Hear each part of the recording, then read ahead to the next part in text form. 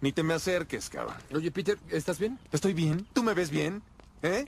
Me rompí un brazo, tres costillas, tengo siete puntadas en mi pinche sobaco. ¿Responde tu pregunta?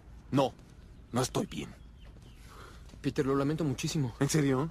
Sonny está todo madreado. Yo estoy peor y tú no tienes nada, ¿o sí? El doctor me dijo que estaba tan dormido que no me tensé, Pete. Dije que dormía como tronco. Sí, ya sé. ¿El doctor te dijo que no es aconsejable quedarse dormido cuando manejas? Ay, solo fue una pestañita, ya, tú. A la otra no tenses el cuerpo, aflójate ya. Neta.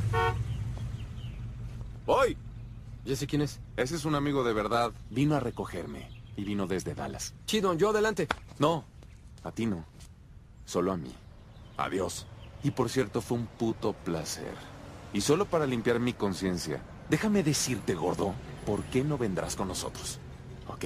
No es porque hiciste que me echaran de un avión y que un agente me disparara. No es porque no hiciste un carajo mientras un discapacitado amargado me propinaba una putiza. Y definitivamente no te vas a quedar aquí porque casi me matas en la semana más importante de mi vida. Te voy a dejar aquí por un motivo mucho más fundamental. Desprecio tu ser en un nivel celular. Ya me habían dicho eso y estoy trabajando en ello, ¿ok? Chingón. Sí. Ahora escucha esto. Peligro. Ten cuidado. No vayas a Hollywood. Las calles no son de oro, están cubiertas con los cadáveres de pendejos sin remedio como tú que creen que van a encontrar la fama. Os lo ruego, evitadlo. ¿Captaste? Es de Shakespeare. ¿Lo conoces? Claro que lo conozco, es un pirata famoso. Y además es Chuck Speare. Déjame darte un consejo amistoso.